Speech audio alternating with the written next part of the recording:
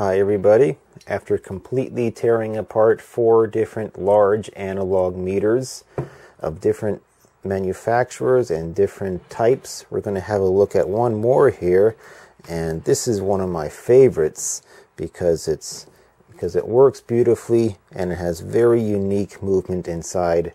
It is an electrostatic voltmeter, completely different from the others because this one measures voltage directly as a voltage.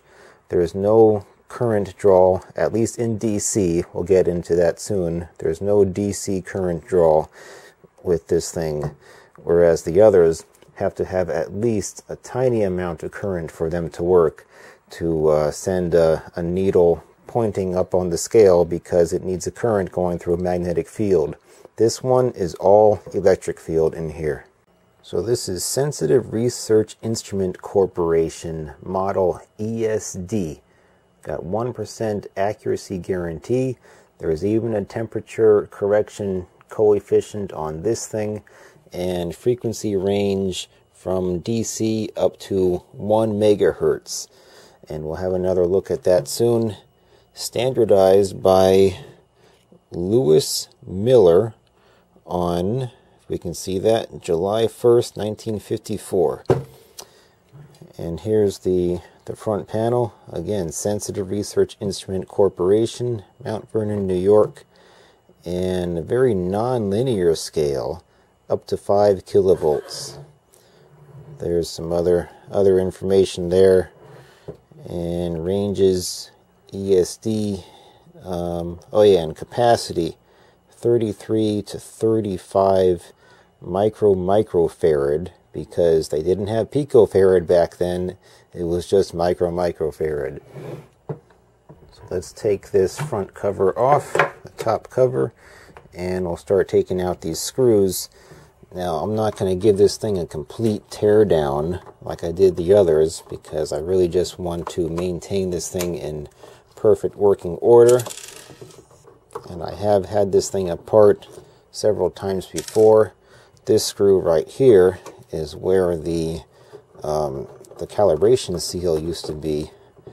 And I've even wanted to do a video like this probably about two years ago when I was doing all my Tesla coil stuff. I even used this thing with a great big voltage divider network in a futile effort to try to measure the, the voltage on top of my Tesla coil. So let's pop the hood on this puppy and see what we got. Let's have a look at this first. See, we got this nice aluminum foil shield all around the outside here. And again, we, we've already seen this before. This is just to, um, you know, prevent any kind of electrostatic uh, potential building up that could potentially affect the, the reading, attract the needle through electrostatic forces. And that would be especially possible with something like this. So here she is in all her glory. Nice and shiny stuff in here.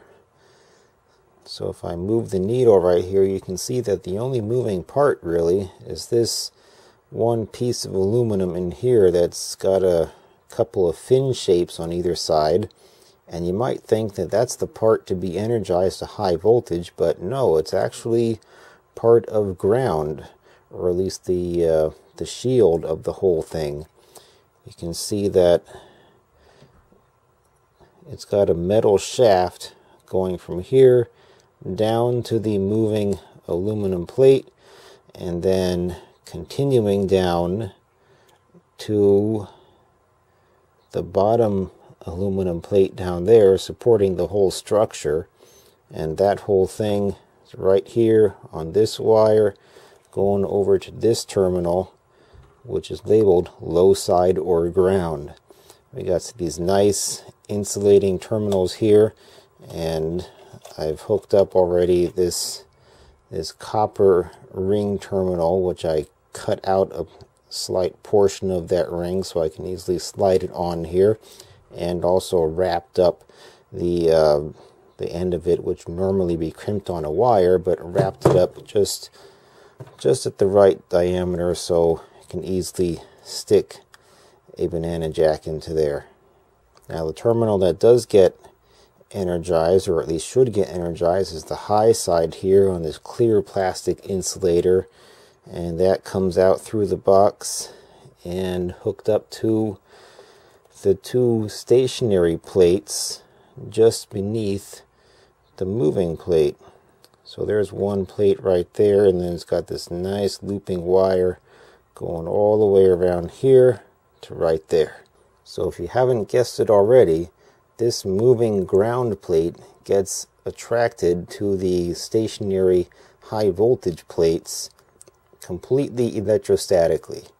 There's an electrostatic force that just pulls it ever so gently over that way across the range of the meter. Now one disadvantage of this kind of voltage measurement is that the scale is really non-linear. Up here in the middle of the scale we've got pretty good deflection of degrees per unit volt going into the device. And even up here at the top of the scale, we've got 5,000 volts and, um, you know, 4,000, 5,000 volts. It's, it's a pretty decent scale up there. You can actually measure individual units um, down to, what is it, 50 volts. Each single line that you see here is 50 volts worth. But down here at the, the bottom end, we go from 0 to 1,000 in a matter of 2 millimeters. So really, really poor at low voltages. And that's simply because of the nature of electrostatic attraction with the physics going on here. The, uh, the force being applied to, to these plates, the torque, is proportional to the square of the voltage. So tiny amounts of voltage result in slightly larger squares of that voltage. But as you increase the voltage, then the square increases much, much faster and higher. And of course, that's going to give you a much greater force to overcome the the the uh, the torque of the of the spring in there. There's a good view of that uh, return helical spring. Now let's have a look at this capacity measurement here of 33 to 35 picofarads as measured back in 1954, 61 years ago. Now when I measured this thing with two different digital LCR meters, I got pretty much the same result of 12 picofarad, give or take half a picofarad or so. Not that much of a difference. And that's going straight across these two terminals into the box. Doesn't matter what the polarity is because it's an AC measurement anyway. And I got 12 picofarads and even if I gently move that needle either with my finger or with some kind of insulated plastic rod or anything like that.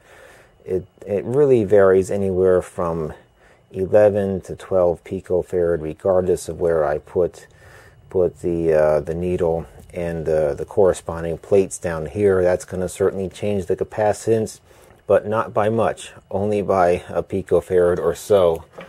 Even if I put the the top plate back on top with this extra shielding in place making contact with these four aluminum foils down here then that's not going to affect it much either. Again, that might just add half a picofarad or so. Trust me, I measured it.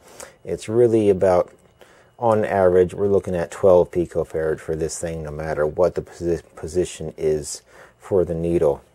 And this is not news to me. I've actually made this measurement many times and many years before, and we can show it with this Fluke 867B right now just with the, the probes hooked up to the input down here we've got 130 picofarad 120 130 picofarad 140 well that's just because I'm moving this thing around and it's becoming closer or further away from the the black lead here let me let it stabilize out maybe and we'll just plug it right back in here and there we go it jumped 10 picofarad up because that's the closest precision that it can get down to the 10 picofarad range, not the 1 picofarad. But yeah, roughly, you know, 10, 12 picofarad that's how much we got here. Certainly not 30 to 35 picofarad. And for the longest time, I thought that there was some error in Lewis Miller's measurement back in 1954, but I think he knew what he was doing, and it's just a factor of age that has caused the capacitance of this thing to decrease. And I can show you why. Take this out and that's because it's coated on the interior with all of this conductive paint, or at least paint that must have been previously conductive, because we do have these aluminum sheets right here and going into the screws, but basically these aluminum sheets make contact on four points, four corners here basically, with the aluminum shield on the front cover. And there's the matching four aluminum sheets right there just foils really just wrapped around and then painted over with this conductive paint and you can see that the paint comes down here to this to the, the, the thick metal washers here for the, the low side or ground input. The high side is very thoroughly isolated from that. We've got no conductive paint anywhere around there. And then the paint continues up around there and basically all around the inside of the box. Unfortunately, this paint, after 61 years, is not quite as conductive as I assume it once was. So let's measure some resistance here. I'll plug this straight into the, the low side or the ground. I don't really have to hold it down. It's just, you know, touching the copper, that's going to be a low enough resistance compared to everything else right here. Because if I just touch it here, there's nothing. And I can touch it down here to the to the ring where this thing is connected. There we go. We got 0.15 ohms. So clearly pretty good uh, connection with the, the black probe. But touching the aluminum foil here, touching the paint, even touching the paint. Oops, gotta be real careful. Oh, what did I do? Oh man, Whew. gotta be careful there. I just bent the needle down underneath the scale. Gotta make sure that's still good. So I'm gonna very carefully touch the paint just outside of the thick metal washer right there and we still got nothing.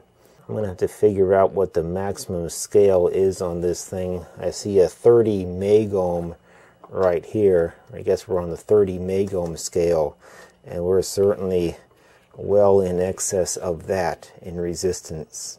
Now I can even take the two probes here and just poke them right next to each other, just a couple millimeters apart on the conductive paint. And there we got pretty decent 44 ohms. I'm surprised there. Stick it over here a little bit. 76 ohms. Wow. Over here to the aluminum plate, 97 ohms. So the paint is quite conductive right there. What about on this side? Huh, look at that. May as well be infinity. Poke it even closer two kiloohms, one, oh, now they're just touching each other. Yeah, it's just really, really finicky here in some places.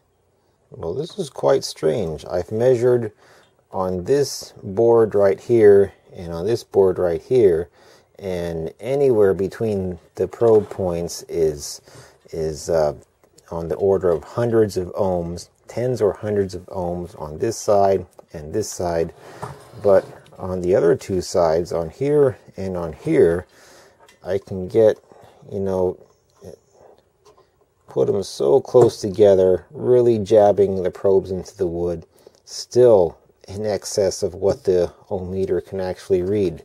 Let me poke it down here on the bottom, because we do have conductive paint on the bottom of the board, the bottom of the box. Still nothing. Well, anyway, I don't know why, but apparently time has been kinder to some parts of the shield than it has been to others. But ultimately, the whole shield is pretty much lost. There's really not much contact at all with the, the ground terminal here, and that would account for the much lower capacitance that I measured today than what was very likely measured back in 1954 with the 35 micro microfarads right there. So the 12 picofarad I measured today, that's just because of the the plates down here, the active parts of the device, that's just the capacitance between them. 12 picofarad and that's what I'm working with. And that's that's fine. I mean if I don't have any concerns for shielding then lower capacitance on this thing is always going to be better because then I can measure higher frequencies of voltage. Higher frequencies of AC voltage that is. Remember we saw that it goes to 1 megahertz or back then it would have been cycles per second but they just put a little sinusoid symbol right there. Now, if we do the 1 over 2 pi fc, in this case 1 over 2 pi 60 hertz times 12 picofarad, we get a impedance of 221 mega ohms, and that's that's pretty good. I mean, typical DMM like this for most voltages is going to have going to have 10 mega ohm impedance. If we increase to 1 kilohertz here, then we get 13 mega ohms, and that's also pretty good. But if we go up to 1 megahertz, then we're down to 13.26 kilo ohms. And of course, that'll be just fine for low impedance systems. But if you have some very low current, very high impedance voltage source, that might be a problem. By the way, you may have noticed that on my trusty TI-89, I've got an M and a P in here. That's just mega and pico, 10 to the 6 and 10 to the negative 12. And that's just how I enter in my, my exponential information, or at least the most common exponent values that you would typically find in engineering. So I've got femto, giga, kilo. No, I don't bother with kilo. That's that K is blank. But I do have mega, nano, pico, and micro right there for the U. So I just find it much easier to enter in the uh, the alphabetic character for for any given engineering multiplier rather than doing the exponent and then maybe the minus sign and then two other digits on here it's just easier to do alpha, number, and that's it. You got it typed in. Okay, got it put back together. That's as far as I'm going to go with the teardown explanation of this thing. I'm surprised that there's really not a whole lot of information out there, especially on YouTube. There's only a couple of videos where the, the people describe it just a little bit and how it works but they don't go nearly in depth as I have done to tear the thing apart and explain how it works. So I hope this was quite helpful. If you learned something, please give this video a thumbs up. And I've actually seen these things on eBay too. You can get something like this for about 50 to 100 bucks. Um, um, uh, Sensitive Research Instrument Cor- Corporation, that seems to be the dominant brand for these electrostatic voltmeters. And they've, you know, anywhere from the 50 to $500 range, depending on the type and the construction of it and how high of a voltage it actually measures and just, just how demanding, demanding the seller actually is. I think 500 bucks for any any of these things is a little bit overkill, but that's that's what they're going for. Not this particular type. I saw I saw one that went down as low as 300 volts. So instead of 5 kilovolts, it was a 300 volt full scale, and of course that's going to have plates on the inside that are much closer to each other. Maybe only half a millimeter or so instead of a full centimeter or so that we saw in here. And also they got higher voltages like 10 kV and 50 kV and various um, different constructions where instead of looking down on a needle pointing like this, you'd be looking sideways on a needle that moves in an arch like that. Completely different topologies. Have a look, see what's see what's out there if you really want to get one of these. So I've decided to cut it off here. I've done tear down and explanation of how this thing works. In the next video, we're going to have a look at this thing in operation where we can compare it to this high voltage probe, um, just a voltage divider probe, 1000 to 1 voltage ratio when you have it hooked up to an ordinary DMM like this with a 10 meg ohm impedance. And we can also have a look at this handy dandy voltage divider network that I've created many years ago specifically for operation of this thing which only measures up to 5 kilovolts. And with the, the voltage divider network of course we can measure much higher voltages than 5k there are some advantages and disadvantages to this analog multi to this analog meter electrostatic meter and we can have a look at those and just just compare how this thing um, paired with this thing and and um, see what's what's good and what's bad about it compared to modern day um, digital electrostatic meters that are on the market.